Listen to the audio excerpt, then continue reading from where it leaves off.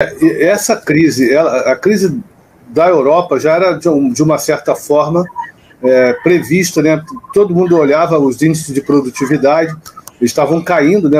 Estavam caindo e você tinha e, e, e, acho que a pandemia apenas avançou a agenda. Mas o que me preocupa, eu, quando eu procuro as notícias da Alemanha, eu sinto, é, eu não sei se a imprensa alemã está é, aumentando a questão, mas me parece que eles estão bastante incomodados, a população, né? E a imprensa alemã às vezes reverbera isso com é, essa ajuda à Ucrânia, tá? Com a ajuda à Ucrânia e a questão dos ucranianos, porque é, eu vi numa reportagem do Dutch Well que eles estavam, eles fizeram uma estatística, menos de um quarto dos ucranianos que é, recebe, receberam né, é, autorização para permanecer da, na Alemanha trabalham. E esse, esse pessoal está ocupando os locais públicos que antes eram reservados aos alemães pobres. E nessa reportagem, o cara colocou, lá o repórter colocou o seguinte: agora estamos no inverno e faltam é, leitos, faltam locais para a população alemã. E isso foi uma, uma questão que ele colocou. Eu falei, caramba, na Alemanha me espantou essa questão. Primeiro, né, a Alemanha estava num processo de aumento do desemprego e você tinha que ter leite. E esse, e esse acolhimento que era tão característico da, da Alemanha, porque grande parte da produtividade alemã vem dos trabalhadores que, estrangeiros, né, que se adaptam ao estilo de produção alemão rapidamente, são treinados para isso, e elevar a produtividade alemã. O, como é que isso tá? Como é que você vê essa ajuda à Ucrânia? Se eles realmente estão incomodados? É, se existe uma, é, eu diria, apoio né, para as, atender as demandas da Ucrânia, que parece que ela gosta de condicionar né, a política interna, a política externa, a finança, como se ela fosse a coisa mais importante que estiver acontecendo no mundo naquela hora, naquela hora ou nessa época, né? Sim. Uh, é assim, o, eu tenho visto aí, às vezes vejo aí ucranianos, curiosamente homens, não sei se fizeram a sua parte na guerra e estão aqui legalmente ou não, mas vemos que eles são, uh, são desses refugiados que recebem uma ajuda do Estado porque vê-se que eles não trabalham, estão aí, vão ao supermercado uh, e, e, nem falam alemão. Não vi problemas com isso até o momento. Pronto. Não sei se isto se demorar, se arrastar durante muito mais tempo, não vai ter outras consequências.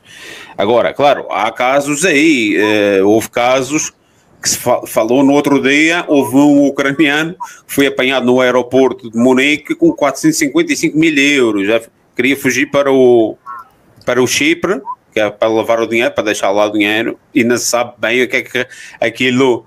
A imprensa era, foi, foi propositadamente não foi muito clara, disse que ele era o cidadão de, de pronto, nacionalidade ucraniana, foi apanhado com 455 mil, eram maços e maços de notas de 50 e de 20 e de 100, e, e foi apanhado. Mas claro que isso aí já deve meter coisa. Eh, que têm a ver com esferas do governo ou militares, de alguma forma, ou máfias, que, que daqui da Alemanha ele queria fugir para o Chipre para levar o dinheiro. Uh, mas e, e, esses imigrantes não são trabalhadores. Aqui há, é, são dois tipos de imigrantes. Há, as migrações vêm da Alemanha, remontam aos anos 50, logo para o, a reconstrução do país depois da guerra. Hum? E isso foi tudo feito dentro da lógica atlantista com a NATO, com os Estados Unidos. É por isso que a Turquia joga um papel importante. São a maior comunidade depois dos russos, não é? é agora são a maior, é, mas eh, os russos são a segunda maior. Os turcos vieram para cá como tra trabalhadores, gastarbeiter, quer dizer que eram convidados, porque a ideia dos alemães era convidá-los, são visitantes e depois vão-se embora. Mas não foram-se embora, ficaram aqui, deixaram filhos, netos, bis, já estamos nas quase bisnetos, estamos entre a terceira e a quarta geração de turcos, e, famílias numerosas, em geral, e, que se adaptaram à indústria como ela era naquela altura, anos 50, 60, 70, 80, até há 20 anos havia um tipo de indústria. Só que agora também estamos numa mudança de paradigma tecnológica, industrial. E, e, muito provavelmente agora o que a Alemanha quer é imigrantes qualificados. E existem realmente. Às vezes vamos aí ao médico, vamos aí IVs e engenheiros que podem ter qualquer origem de todo o mundo. É esse o, o, o, imigrante que a Alemanha pretende captar. Só que as vagas de migração que houve, principalmente em 2016, 2017 e depois, ao ano passado, começaram outra vez, vieram de países em guerras aqui no arco, em redor da Europa, eh, Afeganistão, uh, Síria, Iraque, Líbia.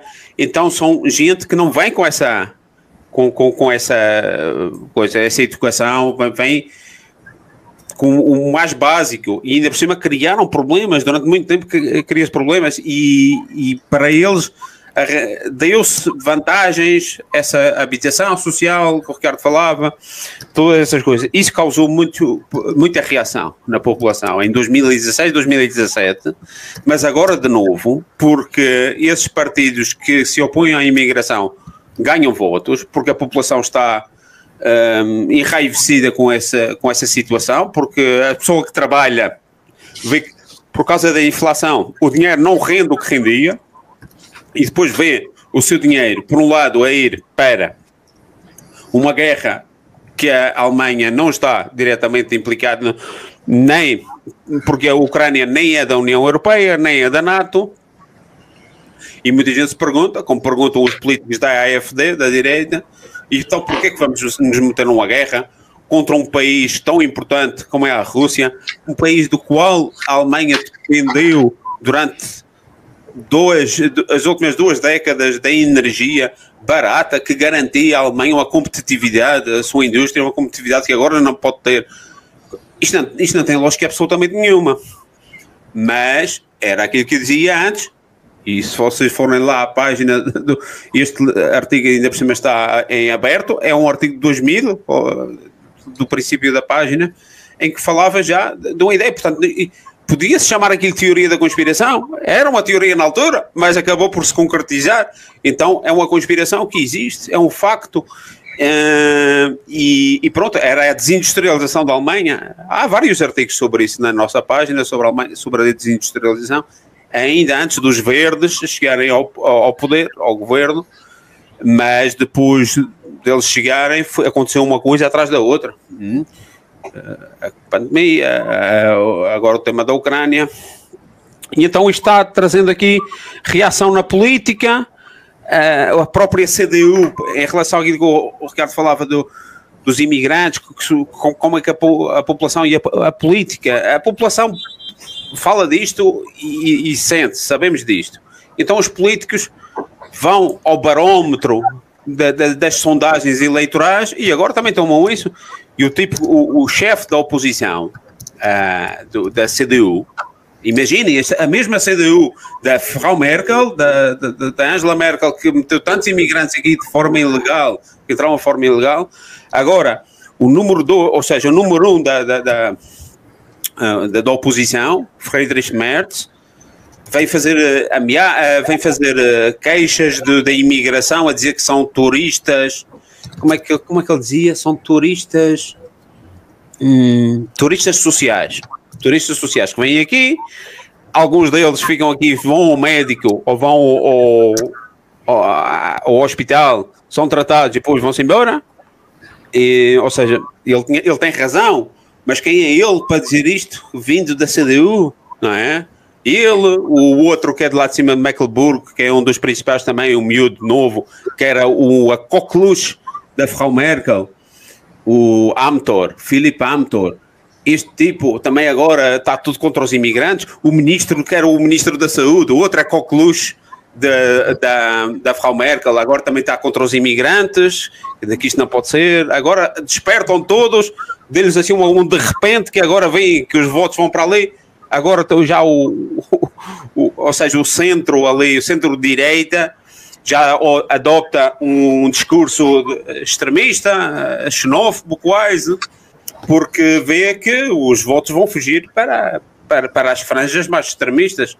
Então está sendo marcado por isto. E então o governo, que tem medo, uh, que está vendo a sua posição, é, é, um governo extremamente impopular, não é? Este governo do semáforo, uh, organizou, a partir deste, do princípio deste ano, agora em janeiro, começou a organizar umas demonstrações massivas de gente contra o fascismo e contra a extrema-direita, contra a AFD, e então as pessoas, porque a grande maioria, porque acha que o racismo é uma coisa má, e tem razão, vão para a rua e vão para estas demonstrações, que não são mais do que isto sim que é manipulação de propaganda a favor do governo, é? Um governo está fragilizado, eh, e então vai buscar este bicho-papão da, da extrema-direita, Uh, para se tentar justificar, porque tem razão, ou seja, ele tem problemas e tem demonstrações genuínas de pessoas que estão a sofrer na pele, por exemplo, os agricultores também estão com as demonstrações que pronto, a imprensa diz que as demonstrações dos, traba dos uh, trabalhadores do campo e dos agricultores são da extrema-direita. E as outras são do antifascismo porque a Alemanha é antifascista e nem pode voltar ao passado e o, holocausto e todas aquelas coisas que eles vão buscar nessas situações para justificar. Hum. Mas isto até vem na sequência de, um, de uma perseguição que a, a, este governo, a ministra do, do Interior, Nancy Feza, começou a fazer aos cidadãos do Reich, que é uma organização diminuta, muito pequenina que diz que a Alemanha não tem Constituição porque é um país ocupado pela, pelos Estados Unidos e tem razão naquilo que dizem. Eh, e, e, mas fizeram umas rusgas impressionantes, mobilizaram centenas de polícias por todo o país, fizeram rusgas em casas de pessoas por terem algum vínculo muito pequeno, por alguma coisa, por terem uns panfletos em casa, por coisas assim, a dizer que isto era uma, um grupo terrorista e já inventaram coisas, quando nunca se conheceu nada de, de que houvesse terrorismo ligados a este, este movimento. Ou seja, aqui uma cortina de fumo que, que este governo já começou a inventar desde há coisa de meio ano, quase um ano, de ir a perseguir, perseguir o bicho-papão da extrema-direita, porque veem que estão a perder a governo mais importante e que vai, vai cair, se continuar assim, este governo há de cair, tem mais um ano, não é? Até, até o final do próximo ano cumpre os quatro anos, agora está com dois anos, mas a continuar assim e, e, e dependendo do que se passar também na Ucrânia, este governo depois vai acabar por cair e, e, e, toda a instabilidade que se vai começar é, é a nível estadual. Hum? Os Estados que, é, de, de, federados da Alemanha.